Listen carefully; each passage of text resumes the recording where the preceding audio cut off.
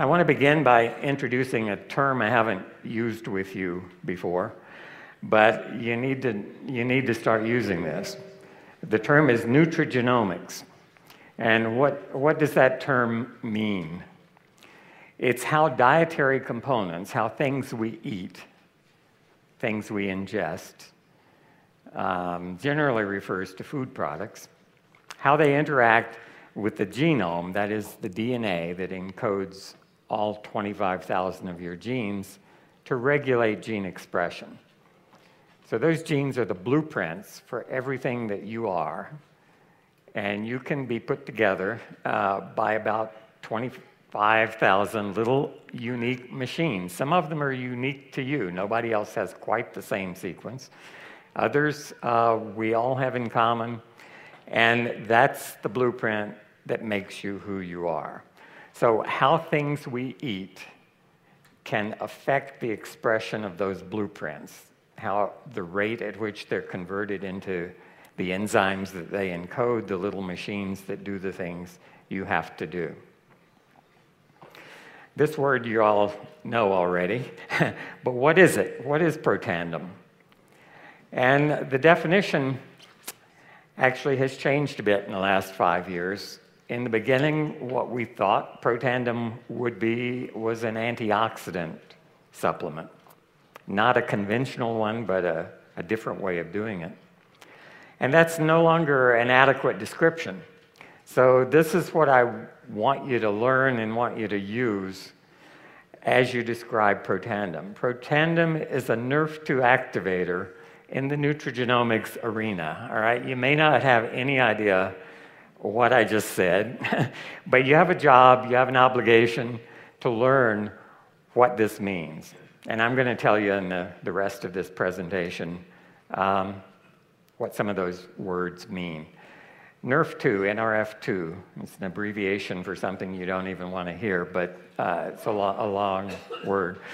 NRF2 is one of the key proteins in your body, in every cell in your body, that has the, the function of regulating your genome. Yeah, I said you have 25,000 genes that are expressed.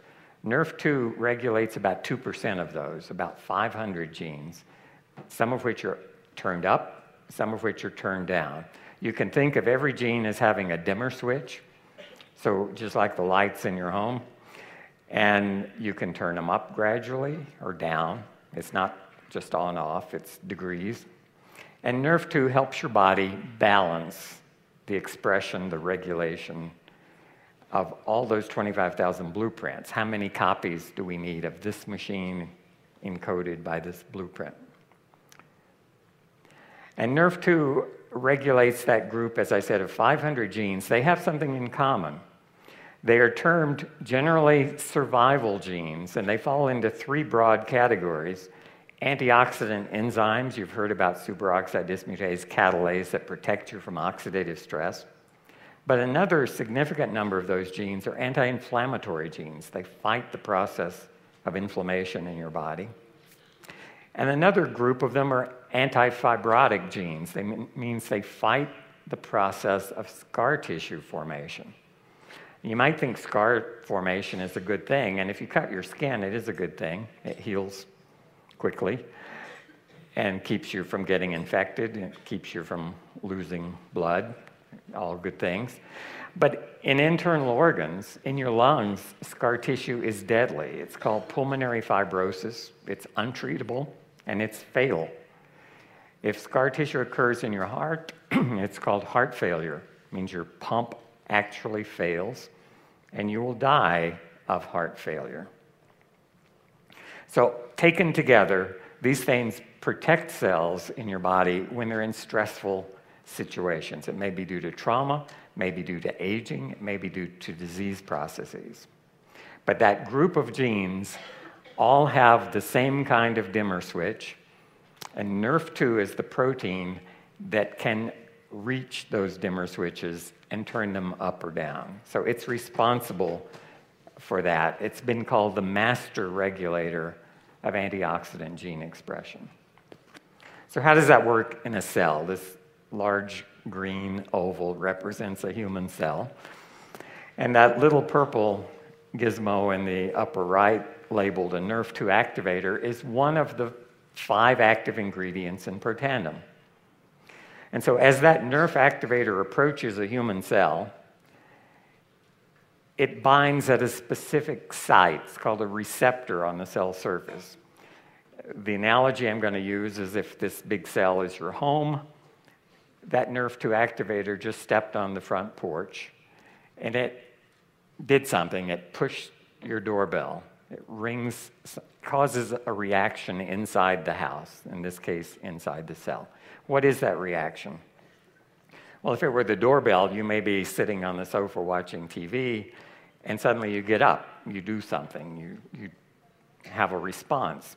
Inside this cell, the same thing happens. When NRF2 rings the doorbell, as it were, an enzyme called a kinase, what it does is not terribly important, but it's one of these 25,000 gene products, and it's doing its job here to realize that NRF2 needs to be activated. So, this NRF2 activator, by activating the kinase, brings about a chemical reaction. And there you see a little round red protein labeled NRF2. That's our signal molecule, messenger molecule. And it's being held inside the cell, but outside the nucleus by another protein here labeled KEAP1.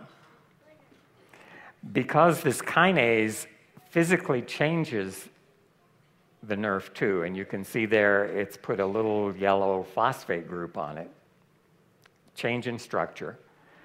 And that change brings about a release of NRF2 from that blue protein that's been holding it out in the green part of the cell, allows it to diffuse into the nucleus where all those genes are housed.